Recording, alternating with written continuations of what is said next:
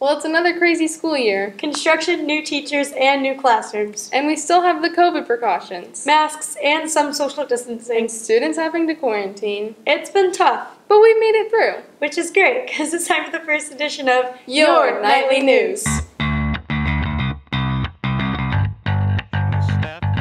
For the Knightly news, I'm Brody. For the Knightly news, I'm Ellie. For the Knightly news, I'm Haley. For the Knightly news, I'm Kenzie.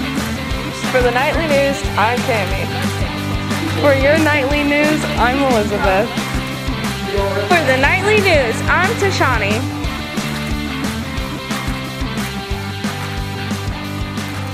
Welcome to another edition of the Knightly News with a story about volleyball. I'm Elizabeth. And I'm Ellie. But before we get to volleyball, let's start with back to school and construction. I'm Tashani Johnson from the Knightly news, and we're going to be talking about all the construction going on. Let's take a closer look. Ryan, Ryan, do you guys have a set date or an estimate of when the construction will be finished? Why, we sure do. When is that? We are uh, looking for final completion to turn over on December 13th. Ryan, what are some of the biggest problems you've faced so far? Well, some of the biggest problems I faced are um, with the COVID, uh, materials not being able to get made and get here on time, so we've had to push schedules back because of that. Um, other things are students uh, being back in the building, things like that. Speaking of kids being back in school, what are some of the biggest challenges you face with us being around? Uh, the biggest obstacle we have with kids is making sure everybody's safe, um, making sure we have areas coned off, flagged off. Other than that, it's just basically make sure you guys are safe. Ella and Natalie, how does it feel being back to regular schedule after not having a regular school year since freshman year? Um, I enjoy being in school with a regular schedule, and I also am happy that this year we get a homecoming, unlike the years in the past that we haven't. And I also am glad that we are in school, not remote, because being remote was difficult on many students and on myself. I'm just glad to be back for senior year and being back in school, but the construction is making it a little difficult. But I'm glad to be here. Johnson, Zach, what are you most excited about for this year? I'm definitely most excited for homecoming this year. I think it's going to be a lot of fun with all the activities, but I'm also very excited for the fan sections that we have going on. It's going to be a lot of fun with all the fun themes that we have going on and just the activities that are going around the high school. What do you think of high school so far?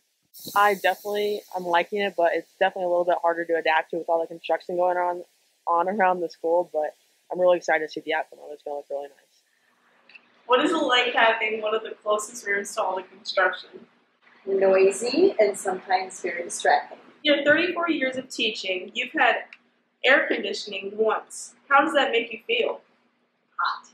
Hot, hot, hot. I'm hot about it. How have you been affected by changing rooms multiple times?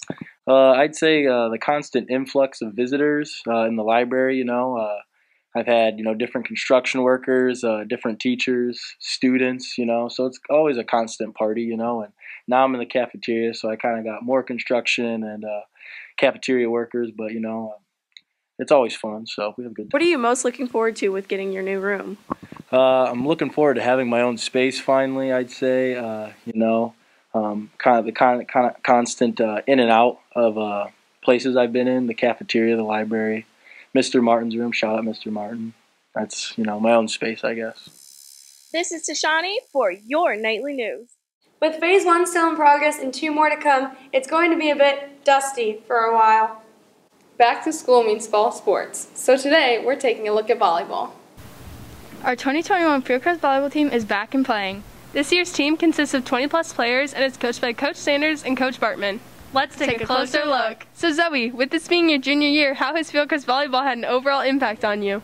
Um, it's really helped me connect with people in the school, and also it's helped me manage my time better with practice, homework, and other activities.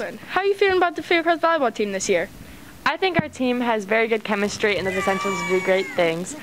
Um, we work very well together and practice and just have fun with the games. And how are you feeling about being a senior and this being your last year playing Fieldcrest volleyball? I'm really excited. Everybody works really hard on the court, and we all have a lot of talent and potential, and I think we're going to go really far. And also, do you have any plans to play volleyball in the future? Yeah, I do plan on continuing my education while also playing volleyball. Lady Knights are hoping for a successful season this year, and with the strength that they have, we have a lot of faith in them. So that's it, guys. Fieldcrest Volleyball is back. Come on out to a home game and support your Lady Knights. For the Knightly News, I'm Kenzie. And I'm Haley. This year has been going well, so good luck with the rest of your season. Short and sweet, that's it for this show. But we'll see you soon with another edition of Your Knightly News.